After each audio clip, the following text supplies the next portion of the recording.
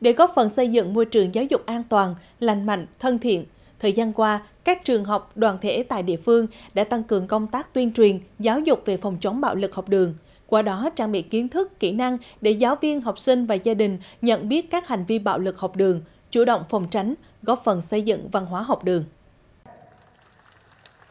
Một giờ chào cờ đặc biệt của các em học sinh trường Trung học cơ sở Nguyễn Huệ, quận Hải Châu, thành phố Đà Nẵng. Thay vì được nhà trường thông báo tổng kết thi đua tuần qua, phổ biến nhiệm vụ tuần mới, thì học sinh được trải nghiệm một tiết học ngoài khóa ngay tại sân trường về kỹ năng phòng chống bạo lực học đường. Thông qua việc vừa cung cấp kiến thức, vừa củng cố kiến thức bằng câu hỏi, các tình huống, trò chơi thú vị, sát với thực tế, các em học sinh đã hiểu một cách rõ ràng hơn về các dấu hiệu của bạo lực học đường, cách phòng tránh và xây dựng môi trường học đường thân thiện, lành mạnh. Hôm nay em tham gia cái buổi truyền thông về ờ, đợt học đường thì em cảm thấy rất là bổ ích vì nó giúp cho em có thể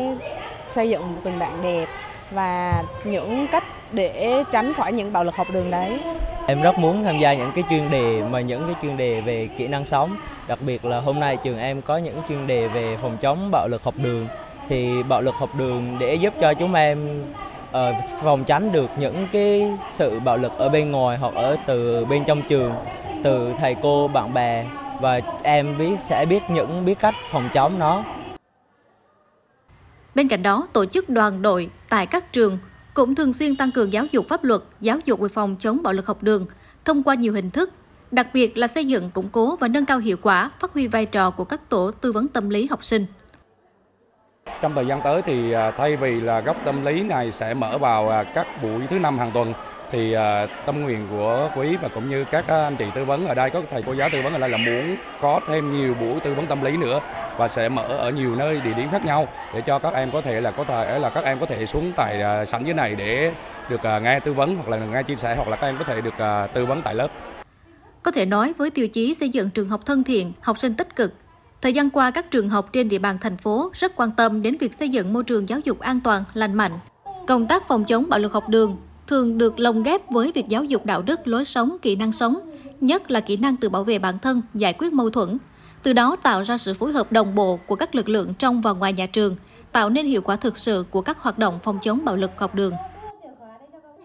Đối với lại về mặt sức khỏe tinh thần của các em học sinh thì nhà trường đặc biệt chú trọng cái công tác này à, bằng các cái hình thức ví dụ như thường xuyên trao đổi bằng các cái chuyên đề ở dưới cờ cho các em học sinh hoặc là đưa vào các cái hoạt động à, sinh hoạt à, lớp vào các cái ngày thứ bảy hàng tuần à, lồng ghép trong cái chương trình của môn học mới đối với học sinh khối 6 và khối 7 đấy là môn học à, hoạt động trải nghiệm và hướng nghiệp thì có rất là nhiều cái nội dung về giáo dục kỹ năng sống cũng như là về à, hỗ trợ về mặt tinh thần của các em học sinh. Thì ngoài các cái hoạt động chung của nhà trường ra thì nhà trường cũng sẽ có những cái các cái thầy cô ở các cái tổ tư vấn thì thường xuyên ờ, trực và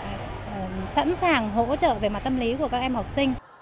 Trong bối cảnh hiện nay, bạo lực học đường không chỉ đơn thuần gây ra những ảnh hưởng về thể xác, mà nguy hiểm hơn, các hành vi bạo lực về tinh thần, bạo lực ngôn ngữ có thể gây ra sự tổn thương, chán nản, lo âu kéo dài đối với học sinh. Vì vậy, việc tuyên truyền nâng cao nhận thức về phòng chống bạo lực học đường cần tiếp tục được đẩy mạnh, đa dạng về hình thức, hướng đến xây dựng môi trường giáo dục thân thiện, lành mạnh và an toàn.